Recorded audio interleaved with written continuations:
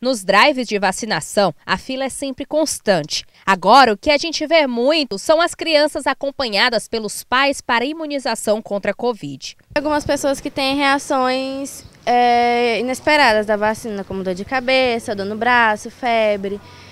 E, mas eu acho muito importante tomar vacina. Para mim, não importa a reação que eu esteja, mas eu vou tomar vacina. Não importa a reação. Eu vou tomar só um remédio pronto. Me conta por que é importante as pessoas tomarem a vacina contra a Covid. Para a Covid não pegar a gente nem os outros. Eu acho importante para proteger elas, né? Elas ficam muito expostas quando vão para a escola. E lá a gente não sabe, né? Se o amiguinho ou não está vacinado, se está gripado, se não está. Eu acho muito importante estar é, tá vacinada e aí eu fico mais tranquila também, né? Que ela está saindo para a escola e aí fica mais é sossegado para a gente, né? É para assim não ficar doente, ficar com sintomas e também se prevenir de aumentar a causa de mortes. Os pais precisam ficar atentos à idade da vacinação.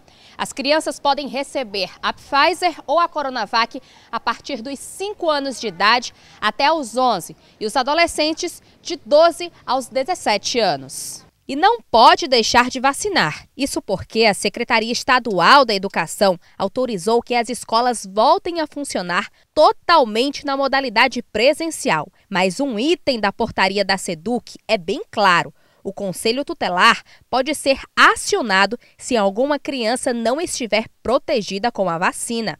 A gente fez uma atualização nas nossas portarias colocando né, quanto ao segmento desses protocolos e um deles da, da vacinação. Então, a Secretaria de Estado sempre um trabalho intersetorial, parceiro, com os demais órgãos secretaria, vem acompanhando. Né? Então, assim, a partir dessa portaria, as escolas elas fazem um trabalho né, direto com o Conselho Tutelar e estes, conforme a demanda, né, é, coloca para outros órgãos, entidades que são responsáveis. Então a gente sabe que um, um, direito não exclui o outro, mas o direito primordial de todos nós é a vida e sempre a Secretaria buscou desde o início da pandemia um direito à vida, um direito à vida no sentido coletivo e sempre cumprindo no que vem né, os protocolos. Enfatizamos também que a maior preocupação nossa é também, que é o objetivo da Secretaria de Estado da Educação, o direito de aprendizagem. Prova disso que a gente conseguiu manter os vínculos do ano de 2020, 2021 e 2022 estamos no chão da nossa escola, 100% das nossas escolas abertas. É importante dizer que o conselho é a última instância. Todas as escolas têm reuniões com os pais e sempre alertam a importância da vacina.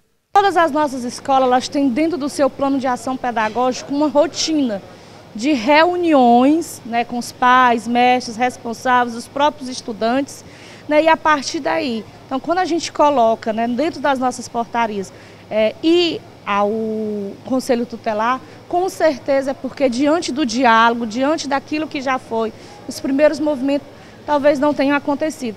Nós não temos tantos movimentos dentro de ir ao Conselho Tutelar, porque os pais, os responsáveis, os estudantes, os nossos profissionais da educação têm uma consciência, uma ciência do quão é importante a gente seguir os protocolos e cuidar não só da nossa vida, mas da vida do outro, do bem-estar de todos. As escolas, os professores podem incentivar os, os, os pais a levar seus filhos para fazer uso da vacinação. Até porque, assim, o Covid hoje, ele atinge todas as faixas etárias. E mais comuns são as pessoas que realmente não fizeram uso da vacina. Então, isso é de extrema importância. Ah, o Ministério da Saúde dispôs das vacinas. A Fundação Municipal de Saúde está dispondo nas unidades para que as crianças façam uso dela. Todos os dias nós temos notificações no CIEVES de unidades escolares com casos positivos. Sobre a vacina, não precisa ter medo de reações. O importante mesmo é garantir a segurança de todos com a imunização. A gente sabe que tem criança que tem reações. Toda vacina é um antígeno, gente. Consequentemente, pode ou não pode trazer nenhuma reação, mas as reações não são reações severas. Geralmente é uma dor no braço, a criança fica com a moleza, é, com dor no, no corpo, às vezes uma cefaleia, uma dor de cabeça. Mas isso, gente, é menos grave do que você ser acometido pela patologia. Então, mais uma vez, que os pais levem seus filhos, os adolescentes, nas unidades de saúde, complete o seu esquema vacinal, que isso é de importância.